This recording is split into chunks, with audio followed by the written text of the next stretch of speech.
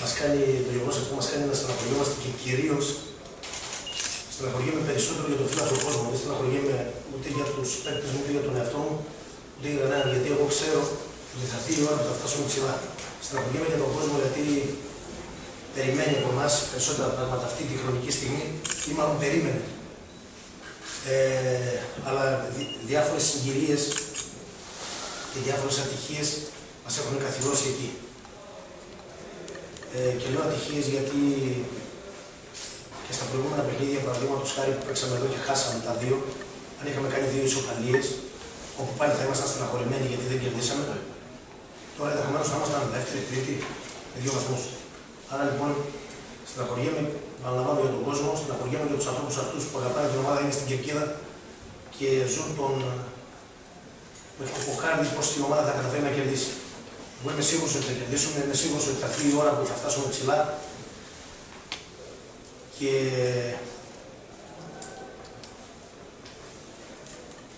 παίζει ρόλο βέβαια όπως φαντάζομαι το καταλαβαίνετε και το βλέπετε και η απώλεια όλων αυτών των παιδιών που από την αρχή της προετοιμασίας με διάφορους, για διάφορους λόγους και σοβαρούς τραυματισμούς δεν βρίσκονται στην ομάδα. Παρ' όλα αυτά δεν πρέπει να μείνουμε εκεί και πρέπει να προχωρήσουμε. Είμαστε υποχρεωμένοι να προχωρήσουμε, είτε το θέλουμε είτε δεν το θέλουμε, να προχωρήσουμε για να φτάσουμε ψηλά. Ένα παιχνίδι στο οποίο θα συμφωνήσετε κι εσείς, ήμασταν καλύτεροι. Δεν ήμασταν καλύτεροι μέσα στη μεγάλη περιοχή. Ε, κάποιοι από εσάς στο προηγούμενο παιχνίδι, στην κρίση σας, αναφέρατε ότι παίξαμε με βαθιές μπαλιές στην, στην Αθήνα με την Καλυθέα και αυτό δεν είναι καλό ποδόσφαιρο. Παρ' όλα αυτά, με, αυτές τις, με αυτόν τον τρόπο, έτσι όπως το σχεδιάσαμε, χάσαμε πέντε ευκαιρίες, 7, δεν θυμάμαι πόσες, να κερδίσουμε. Σήμερα μπορεί να μην παίξουμε με αυτόν τον τρόπο, μπορεί να μην δημιουργήσαμε τόσες πολλές ευκαιρίες. Παρ' όλα αυτά όμως η μπάλα ήρθε μέσα στη μεγάλη περιοχή πολλές φορές, είτε από περιοχοποίησει, είτε από κάθετες μπάλες, είτε από ψηλές μερικές φορές. Αλλά η τύχη δεν ήταν με το μέρο μας. Δεν πειράζει, προχωράμε, έχουμε το επόμενο παιχνίδι.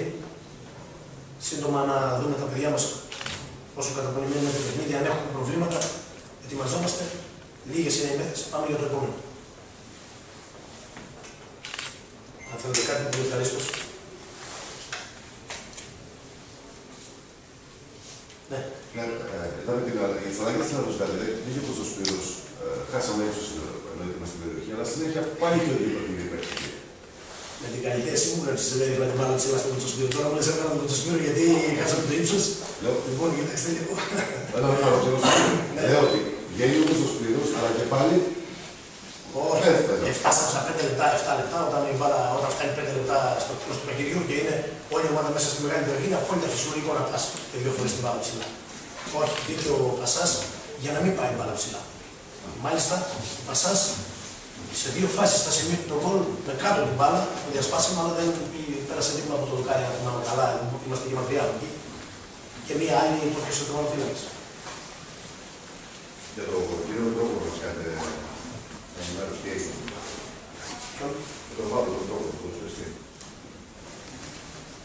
Σήμερα είναι μετά εδώ για το 50 να μιλήσουμε. Θα έρθει η ώρα να μιλήσουμε για τον κάθε έναν από τα παιδιά και θα ήταν καλύτερο κάποια στιγμή να αποφασίσουμε εδώ ότι μεμονωμένα να μην ασχολούμαστε με τον καθένα και να ασχολούμαστε με το σύνολο.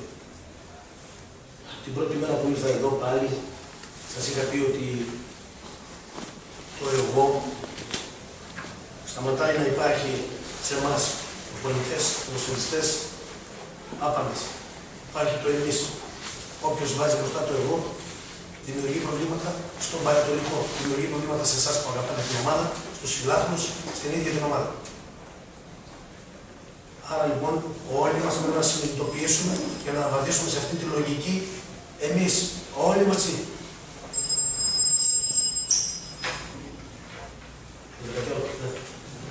περιμένατε σήμερα να στηθεί τόσο αμυντικά η αντίπαλη ομάδα και κάτι άλλο; Πόσο εύκολο είναι για τον Πανετολικό να στην προσπάθεια του να διασπάσετε τις άμυνες, ε, αν και στα, δούμε και στα επόμενα παιχνίδια δεν κάτι παρόμοιο, μια λευκή παλιά, ας πούμε, και τι, τι παίζει μεγαλύτερο ρόλο.